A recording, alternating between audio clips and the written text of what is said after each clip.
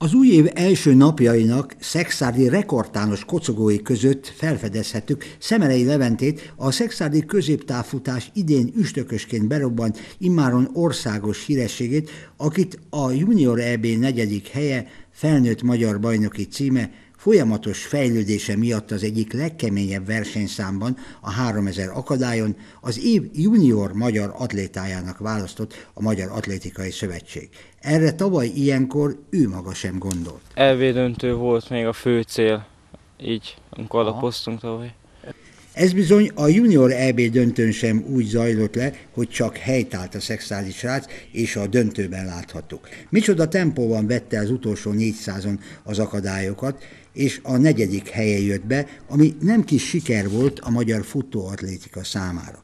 Nem sokkal ezután a magyar felnőtt mezőnyt is szinte leiskolázta Szemelei Levente, aki azon dolgozik edzőjével, Szőke Gergővel, hogy jelentősen 9 perc alá kerüljenek az idei évben. Ebben változatlanul kikéri a szexárdi tréner a Kecskemétre távozott német Gyula tanácsait, aki Szemerei szexárdi felfedező edzője volt. A dolog pikantériája, hogy a szexárdi versenyző legnagyobb hazai riválisa több számban is éppen a kecskeméti német Gyula tanítvány, bizonyos Palkovics István. Egy egészséges rivalizálásba ment át a dolog, de nyilván amikor nem ugyanabba a versenyszámba indulnak, akkor teljes mértékben számíthatunk a Gyula segítségére. Serdülőkorban Levi is dilemmába került, mint meg annyi sportoló. Kell-e ez nekem, megéri ennyit edzeni, gülcölni, csak az atlétikának élni? Szőke Gergőnek ekkor, kezdő edzőként, pszichológusnak és pedagógusnak kellett lennie leginkább. Az volt a nehéz, hogy a Levi meg köztem tíz év van és azért egy, egy olyan edzőre, aki 30 év tapasztalattal, 50 évesen áll mellette, a fiatal ember könnyebben elfogadja a tanácsokat, mint egy olyantól, aki belecsöppen, és nagyon jól tudta a Levente is, hogy pár éve edzősködök.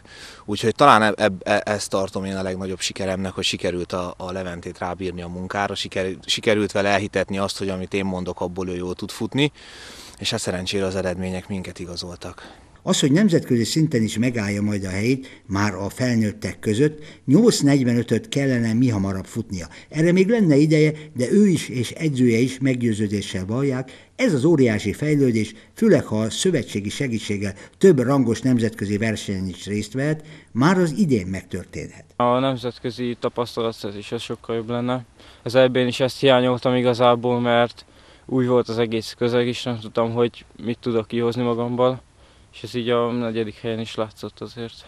Igen. Mert hogy ez a szintidő, a 845 ahhoz, hogy 2020-ban, vagyis az idén a felnőtt EB-n is bemutatkozhasson Szemerei Levente. Én beláttam a korlátaimat, hogy a Leventéből csináltam egy felnőtt magyar bajnok futót, és innen, hogy nemzetközi szintre ö, emelje az eredményét, kell, kell neki valami új impulzus. Tehát mindenképp szeretnénk itthon tartani, ez nem azt jelenti, hogy akkor azt szeretném, hogyha eligazolna, hanem leginkább Amerikába gondolkozunk, mert ott meglennének azok a versenyek, ahol 3-4 ezer ember előtt futhatna akár hétvégente, ami, ami szerintem eljutathatná oda, ahova mi szeretnénk. Szemerei Levente továbbra is több számban versenyez a 3000 méteres akadályfutás mellett. Látjuk, 1500, 3000 méter és 5000 méteren is, és a még hosszabb mezei távokon is 2019-ben.